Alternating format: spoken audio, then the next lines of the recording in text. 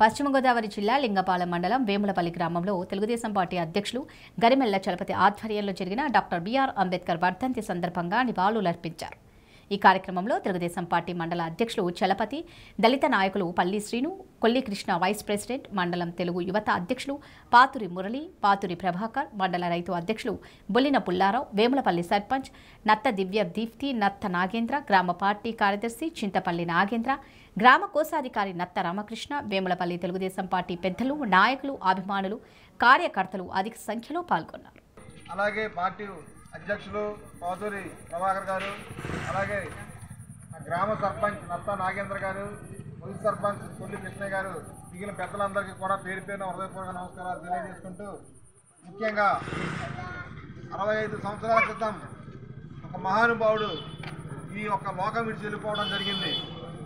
ఎవరైతే పేద ప్రజలు ఉన్నారో వారందరికీ రిజర్వేషన్ల ద్వారా వారందరినీ ఆర్థికంగా ముందుకు తీసుకుపోయి రాజకీయంగా ముందుకు తీసుకుపోయి వారందరినీ కూడా సమానమైన స్థానంలో నుంచోబెట్టడానికి ప్రయత్నించినటువంటి మన ప్రియతమ నాయకుడు శ్రీ బాబాసాహెబ్ అంబేద్కర్ గారు కరెక్ట్గా అరవై ఐదు సంవత్సరాల క్రితం ఈ లోకం విడిచి వెళ్ళిపోవడం జరిగింది. అప్పటి నుంచి కూడా ప్రతి ఒక్క ఇప్పుడు ఈనాడు ఈ వేములపల్లి గ్రామంలోనే ఒక సర్పంచ్ ఉందంటే ఆవిడ దళితులుగా రిజర్వేషన్ అయిందంటే అది ఆనాడు అంబేద్కర్ రాజ్యాంగం అంబేద్కర్ గారు రాసినటువంటి రాజ్యాంగం యొక్క దాని వల్లనే ఈ యొక్క రిజర్వేషన్లు వచ్చినాయి. మన చింతలపూడి నియోజకవర్గం కూడా ఎస్సీ రిజర్వేషన్ అయి ఉందంటే అది కూడా రాజ్యాంగం రాసిన దానివల్ల జరిగింది.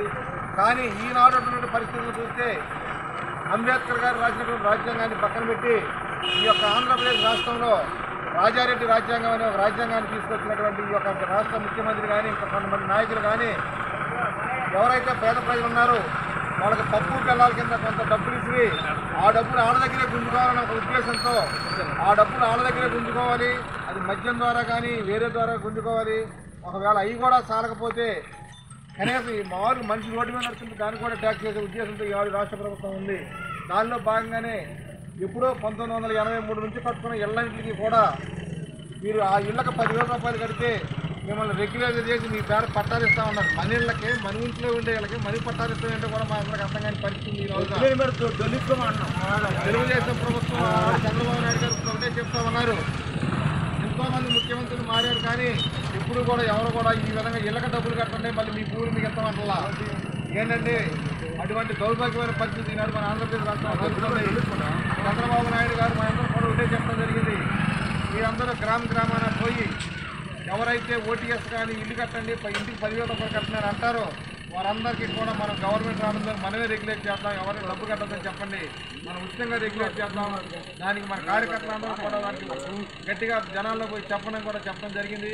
దానిలో భాగంగానే పేద ప్రజలకు బరుగు బలహీన వర్గాలకు అండగా ఉండే తెలుగుదేశం పార్టీని మనందరం కూడా అంటుండి పార్టీ అభివృద్ధి చేయడం కోసం మీరందరూ కూడా సహకరిస్తారని కోరుకుంటూ డాక్టర్ బాబాసాహెబ్ అంబేద్కర్ గారికి నివాళులు అర్పించడానికి వచ్చిన మీ అందరికీ కూడా పేరు పేరున నా యొక్క హృదయపూర్వక నమస్కారాలు అభినందనలు తెలియజేస్తున్నా డాక్టర్ జోహార్ డాక్టర్ బిఆర్ అంబేద్కర్ జోహార్ doctor B R Babasaheb doctor B R Ambedkar గారి అరవై ఐదవ వర్ధంతిని పురస్కరించుకుని ఈ యొక్క వేములపల్లి గ్రామంలో ఏర్పాటు చేసినటువంటి కార్యక్రమానికి ఇచ్చేసినటువంటి పెద్దలకు నాయకులకు అందరూ నమస్కారాలు తెలియజేస్తూ ముఖ్యంగా ఈనాడు రాష్ట్ర ప్రభుత్వం చేస్తున్నటువంటి ప్రజా వ్యతిరేక విధానాలను జనాల్లోకి తీసుకుపోవాలనే ఉద్దేశంతో మా గౌరవ తెలుగుదేశం పార్టీ జాతీయ అధ్యక్షుడు శ్రీ చంద్రబాబు నాయుడు గారు ఇచ్చిన ఆదేశాల అనుసారం మేమందరం కూడా గ్రామాల్లో జాతీయ మన బాబాసాహెబ్ అంబేద్కర్ గారికి నివాళులు అర్పించి కొన్ని కార్యక్రమాలు చేయడం జరిగింది. దానిలో భాగంగానే ఈ రోజున మొన్న ఏదైతే శాసనసభలో చంద్రబాబు నాయుడు గారి పైన చేసినటువంటి అనుచిత వ్యాఖ్యలు నిరసనగా ప్రతి గ్రామంలో కూడా ప్రజలకు తెలియజెప్పేందుకు గౌరవ సభలు ఏర్పాటు చేయడం కూడా జరుగుతుంది. దానిలో భాగంగానే ఇక్కడ ఈనాడు చేసిన గౌరవ సభ ఏర్పాటు చేశాం.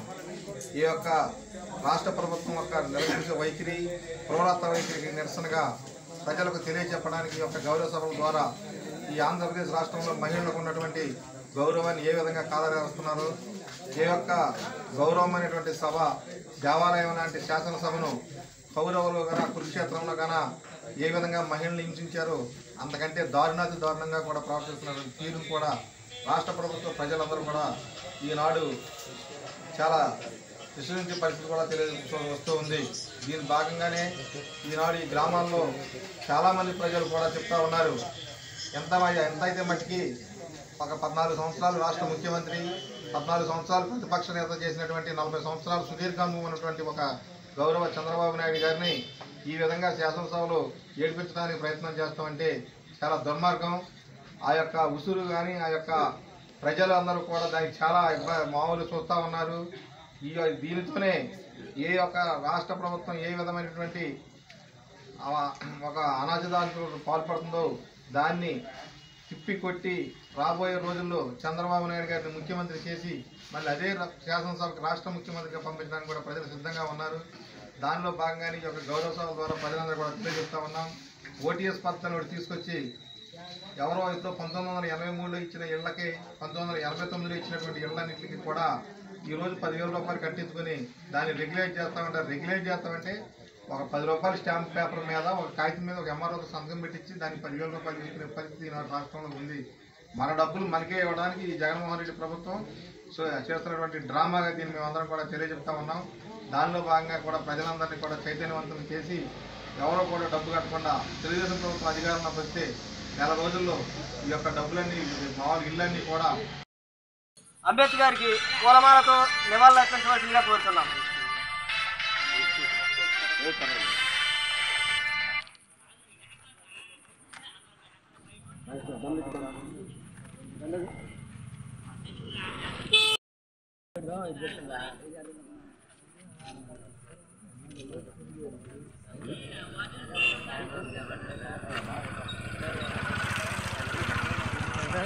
జోహార్ డాక్టర్ బిఆర్ అంబేద్కర్ జోహార్ డాక్టర్ బిఆర్ అంబేద్కర్ వర్దిల్లాలి డాక్టర్ బిఆర్ అంబేద్కర్ ఆలోచన విధానం వర్దిల్లాలి డాక్టర్ బిఆర్ అంబేద్కర్ ఆలోచన విధానం జోహార్ డాక్టర్ బిఆర్ అంబేద్కర్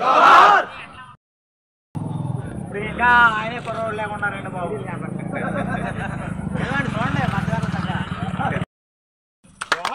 జోహార్ డాక్టర్ బిఆర్ అంబేద్కర్. జోహార్ డాక్టర్ బిఆర్ అంబేద్కర్. జోహార్ డాక్టర్ బిఆర్ అంబేద్కర్. అలాగే. అంబేద్కర్ జోహార్ డాక్టర్ బిఆర్ అంబేద్కర్ జోహార్ డాక్టర్ బిఆర్ అంబేద్కర్ జోహార్ డాక్టర్ బిఆర్ అంబేద్కర్ జోహార్ doctor B R Ambedkar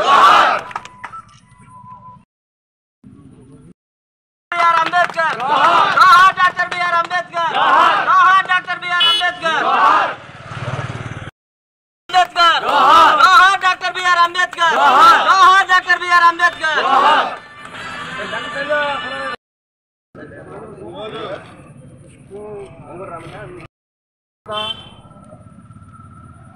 అడుగు బలహీన వర్గాల ఆశాజ్యోతి డాక్టర్ బాబాసాహెబ్ అంబేద్కర్ గారి అరవై ఐదవ వర్ధంతి కార్యక్రమానికి ఈ వేములపల్లి గ్రామంలో నిర్మించినటువంటి మన దళిత సంఘం సోదరుడు అలాగే పార్టీ అధ్యక్షులు పౌదూరి ప్రభాకర్ గారు అలాగే గ్రామ సర్పంచ్ నత్త నాగేంద్ర గారు మున్సి సర్పంచ్ కొల్లి కృష్ణయ్య గారు మిగిలిన పెద్దలందరికీ కూడా పేరు పేరున హృదయపూర్వక నమస్కారాలు తెలియజేసుకుంటూ ముఖ్యంగా అరవై ఐదు సంవత్సరాల క్రితం ఒక మహానుభావుడు ఈ యొక్క లోకం విడిచి వెళ్ళిపోవడం జరిగింది.